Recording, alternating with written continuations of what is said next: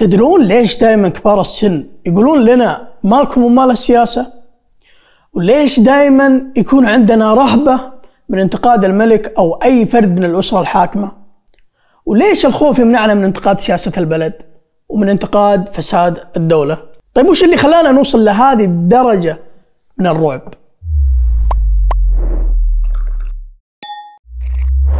السلام عليكم لطالما كانت الحكومة تستخدم أسلوب يشبه أسلوب تخويف الأطفال وتروج لنفسها بأن لديها قدرات ضخمة لاكتشاف مخالفيها ومنتقديها. فمثلا في عهد الملك فهد كانت الحكومة تستغل جهل الناس وتنشر شائعات بأن لديها قدرات خارقة لمعرفة ورصد معارضين الدولة عن طريق نشر شائعات وأكاذيب هدفها تخويف الشعب وفرض سيطرة غير مباشرة. على حريته في التعبير والانتقاد والمطالبة بالإصلاح وعشان يحسسونه أنه مراقب طوال الوقت.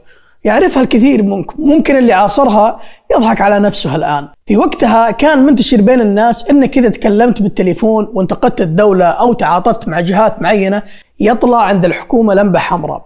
وكان الناس مصدقين وما يتكلمون في السياسة عن طريق الهاتف.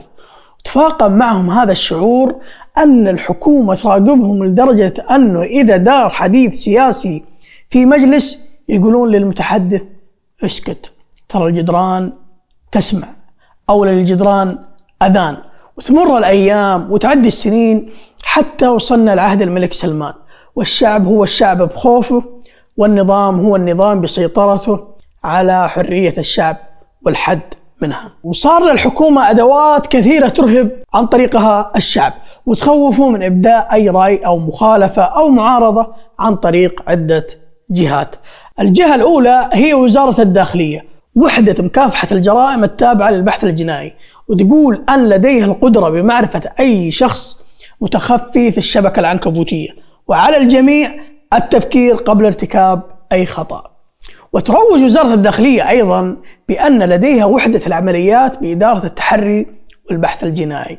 وأن هذه الوحدة لديها القدرات الخارقة حتى أنها تستطيع الدخول لسيرفرات البرامج وأخذ معلومات صاحب الحساب. يعطيك كم عدد التغريدات في الدقيقة؟ كم عدد التغريدات في الساعة في اليوم؟ تستطيع أن ترجع بما نسميه نحن البيانات التاريخية نستطيع أن نرجع إلى خمس سنوات. آه، في الخلف هذا البرنامج لديه access وصول إلى سيرفرات نفس مواقع التواصل الاجتماعي بحكم أن الشركة التي تم التعاقد معها لديها هذه الشراكة مع مواقع التواصل الاجتماعي. أصبحنا مع الفريق حتى نعرف أجهزة المستخدمين. نستطيع أن نعرف جنس المستخدمين. نستطيع أن نعرف هذه الحسابات اللي تغرد. اتفاق مع الشركات والبرامج للولوج داخل السيرفرات. وأخذ المعلومات. مجموعة ال Five Eyes ما عندهم هذه القدرات. الجهة الثانية هي جهاز أمن الدولة. وتم إنشاؤها في 20 July 2017 وطبعا هذا الجهاز ما سووه إلا لمهمة واحدة وهي ترهيب الشعب وتخويفهم وقمع الأصوات التي تطالب بالإصلاح. عشان يقوم بمهمته بشكل جيد لابد أن يشاع بين الناس بأن هذا الجهاز لديه القدرة على مراقبة المواطن ورصد المخالفين والمعارضين لفساد السلطة وتروج لنفسها بلغة الترهيب والتهديد. فصل جديد تكتبه رئاسة أمن الدولة في فرض النظام وملاحقة الخارجين عليه. المتوهمين بأن تطبيق الأنظمة العدلية مقتصر على الوقائع على الأرض فحسب. هذه المرة تعلن رئاسة أمن الدولة بأن ساحات الإنترنت ليست بمنأ عن سلطتها وأن من يتخفون وراء معرفات وهمية ويتزعمون إثارة الرأي العام ويحاولون زعزعة الاستقرار تحت وهم صراع التيارات أو إذكاء النعرات الطائفية والعنصرية. كل أولئك سيكون مصيرهم الخضوع للإجراءات النظامية. أما الجهة الثالثة فهي النيابة العامة. وتروج للشعب بأنها ترصد مواقع التواصل الاجتماعي على مدار 24 ساعة. آه، مركز الرصد النيابي في النيابة العامة آه، يعمل على مدار 24 ساعة لمراقبة آه، المحتوى في وسائل التواصل الاجتماعي. أي نشاط محل تجريم يتم رصده من قبل الفريق التقني تحليل المعرفات تحديد تاريخه مكانه.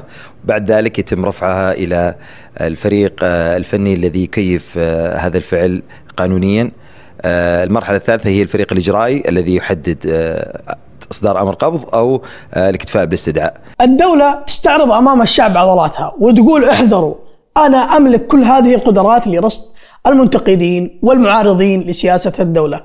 خلونا نكمل ونشوف هذا الكلام هل هو صدق ولا ما عندهم سالفة.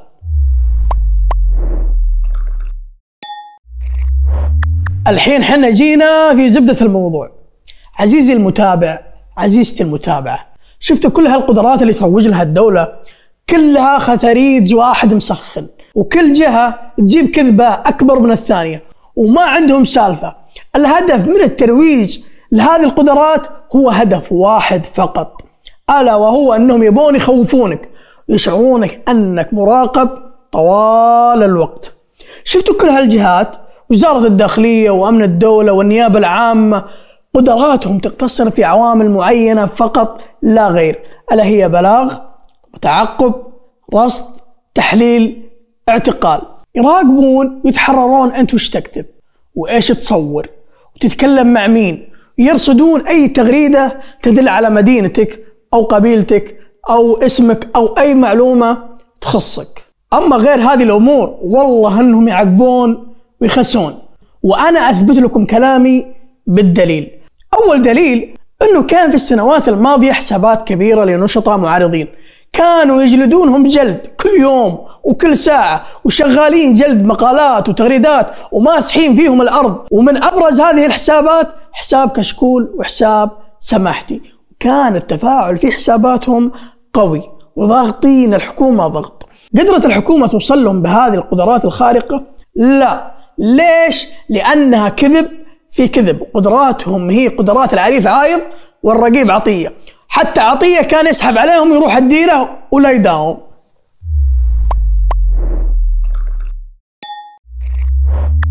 طيب إيش سوت الحكومة وكيف عرفت من وراء هذه الحسابات؟ أنا أقول لكم كيف. كان في سعودي اسمه علي الزبارة شغال في تويتر. جندت الحكومة علشان يعمل معها كجاسوس.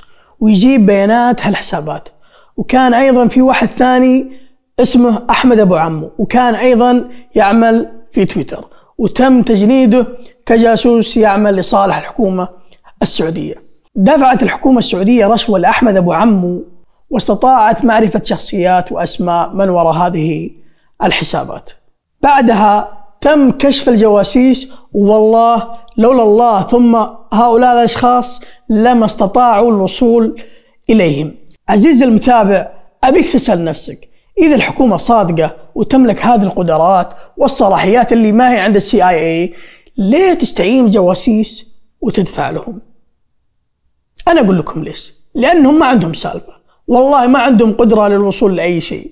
تجنيدهم لهالجواسيس هو دليل أن ما عندهم الاستطاعة ولا القدرة أنهم يحصلون على أي معلومة من حساباتك. إذا كنت أنت مأمن نفسك بشكل صحيح ومخفي معلوماتك ومنتبه وحريص ما راح يوصلون لك. طيب في واحد يقول إن الحكومة عندها برامج تستطيع من خلالها أن تخترق الهواتف.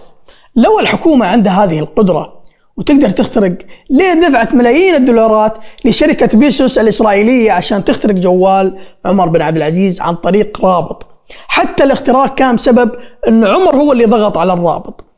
يا جماعة الحكومة لو عندها قدرة فعلا ما كانت روجت النفس بهذه الطريقة وبلهجه التهديد والترهيب. كل هذه الدعاية بأن لدينا القدرات والإمكانيات مجرد كذبة عشان تكون منعزل داخل فقاعة خوف. يهزمك هذا الشعور. إنك مراقب ومرصود علشان تسكت وترضى. ترى الأمر محزن لما تشوف فيه مواطن أو مواطنة ما عندها الجرأة أنها تعمل لايك أو تعلق على موضوع هي متضررة منه أصلا. الأمر محزن جداً. زبدة الكلام. القيد اللي في يدك وهمي ليس حقيقي.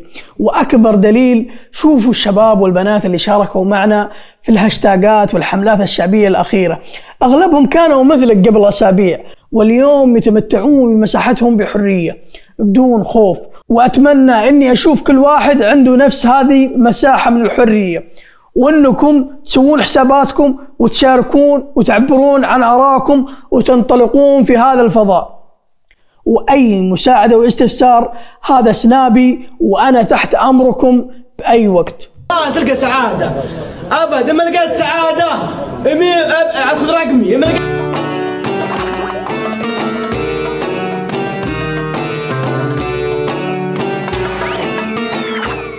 أهلا ومرحبا بكم في فقرة ترندنج. الخبر الأول اللي معانا اليوم محمد بن سلمان يرضخ. ويفرج عن الناشطه لجين الهذلول بعد ضغوط من الاداره الامريكيه. والرئيس جو بايدن يرحب بخبر الافراج. Before I begin, I have some welcome news that the Saudi government has released a prominent human rights activist, Lojane Alathi Lu, uh, Lowell, excuse me, L O O L, uh, from prison. She was a powerful advocate for women's rights, and releasing her was the right thing to do. الخبر الثاني هو ارتفاع أسعار البنزين. وسط سخط شعبي ورفع صورة الملك عبد الله احتجاجا واعتراضا.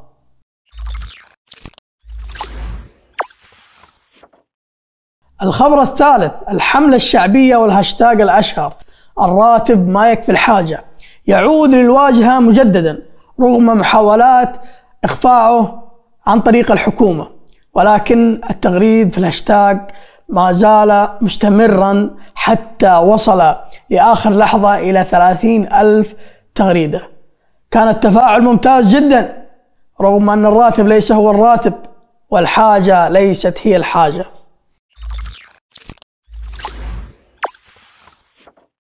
الخبر الرابع اللي معانا اليوم محمد بن سلمان ما زال يطلق الكثير من المشاريع والوظائف هذا الرجل ما زال يكذب ويكذب.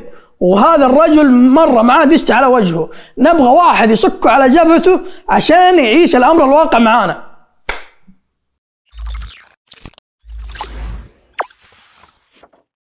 الخبر الخامس اللي معانا اليوم هو خبر الإفراج عن المتحدث الرسمي بعد اعتقال دام لأسابيع.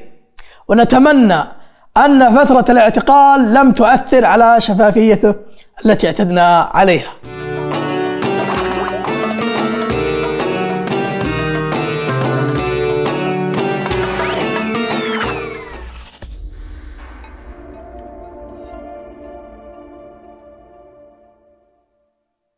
السلام عليكم ورحمة الله وبركاته أخواني الصحفيين أهلا وسهلا بكم وأنا سعيد بلقائي بكم مرة أخرى من بعد طول غياب.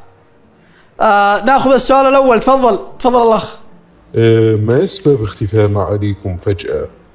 والله كانت يعني آه، كنت باستضافة أخواننا في أمن الدولة. حطوني في مكان لائق تجيني جرايد كل يوم شوف التلفزيون يعني مكان أشبه بفندق خمس نجوم. آه وإن شاء الله انها تكون آخر زيارة. السؤال اللي بعده تفضل تفضل الأخ. ما تعليقكم على هاشتاجات البطالة؟ والراتب ما يكفي الحاجة. آه إي نعم أنا لا- لاحظت هذا النشاط مؤخرا ومما آه لا شك فيه أن هذه النشاطات تأتي من دول معادية. تقوم بهذه النشاطات لتأليب الرأي العام.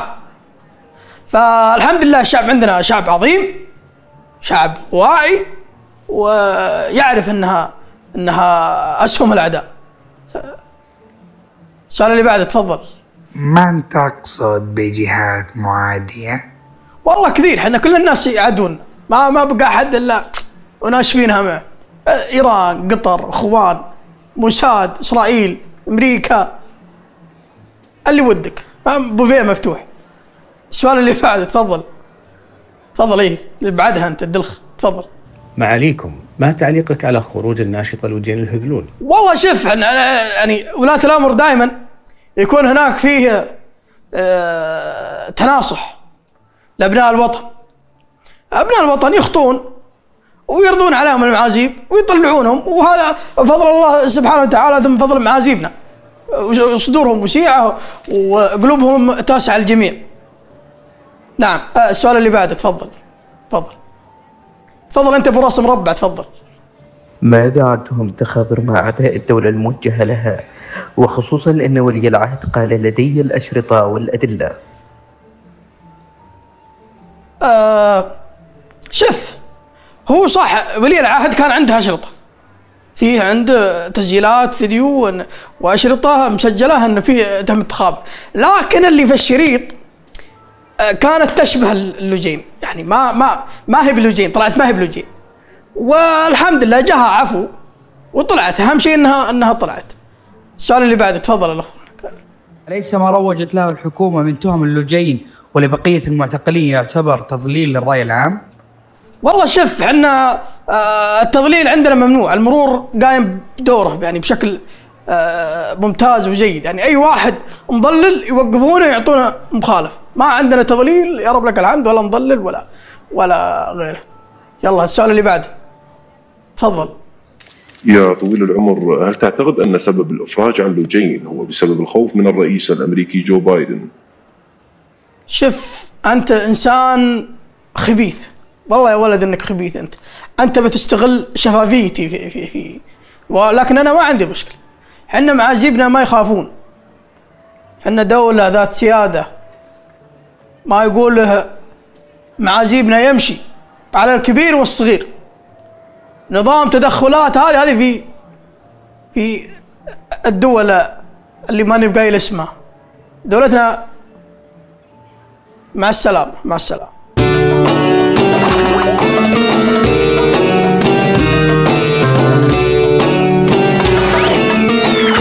أهلا بكم مرة أخرى في سالفتنا.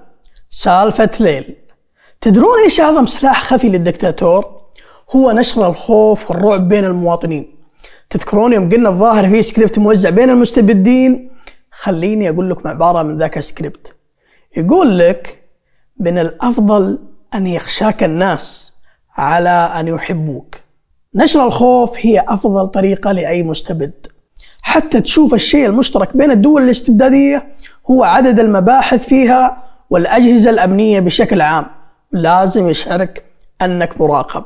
بألمانيا الشرقية أيام الحرب الباردة كان الناس يقولون ترى أي واحد يمشي بالشارع مباحث. وأنا ما تغيب عن بالي الفكرة اللي كتبها جورج أورويل في روايته 1984 لا تتكلم لا تفكر لا تبحث لا تتجرأ على التعبير عن رأيك. من أنت عشان تفكر وتكتب رأيك؟ ترى كل شيء مراقب والأخ الأكبر يراقبك. هذه الرواية صورت الدولة البوليسية بأبشع صورة لأن زرع الخوف بقلوب الناس تجعلهم يقبلون بأي حقيقة ويصدقون أي كذبة. تخيل لو أن اثنين زائد اثنين يساوي خمسة أما اثنين زائد اثنين يساوي أربعة مع قطع راسك لأن الحقيقة تحتكرها الحكومة. من أنت عشان تقول أربعة؟ في هذه الرواية تصور لك أن الموضوع مو فكرة المراقبة من بعيد وبس لا. هو الدكتاتور يبي يشعرك أنك ترى مراقب في كل الأحوال عشان تعيش بحالة خوف دائم وأن كل حرف تقوله ترى مسجل وبتحاسب عليه. في الدولة اللي يتكلم عنها الكاتب بالرواية كانت تعيش حالة من قلب الحقائق. يعني عندهم وزارة اسمها وزارة الحب فكرتها باختصار تنشر الخوف والرعب بين الناس ونشر الكراهية. وفي بعد وزارة الحق والحقيقة من متى تزور الحقائق وتغير وتعدل في التاريخ وتنشر الأكاذيب. وفيه بعد شرطة الفكر وكل واحد يخضع لمراقبة شرطة الفكر لأن عقلك أنت ما تملكه الحكومة هي اللي تملك عقلك. جريمة الفكر أو الرأي ما هي بتستوجب الموت وبس لا هي الموت نفسها بهذه الدولة البوليسية.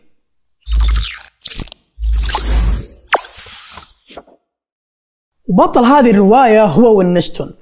هو شاب عادي يعيش بشقة صغيرة وعنده تلفزيون مراقبة بالبيت يراقب كل تحركاته وأفعاله وحتى تعبيرات وجهه. لكن وينستون كان يكره الوضع هذا اللي عايش فيه خصوصا وأنه يشتغل بوزارة الحقيقة. فهو عارف كمية التزوير والكذب وقلب الحقائق اللي قاعدة تصير وأن الأخ الأكبر يبي الحقائق تكون على ما يشتهي من ثم يغذي عقول الناس بها. لكن وينستون ما قدر يتكلم. عبارة الأخ الأكبر يراقبك في كل مكان. والناس عايشة بخوف لدرجة أن الأب صار يبلغ على ابنه والابن يبلغ على أمه.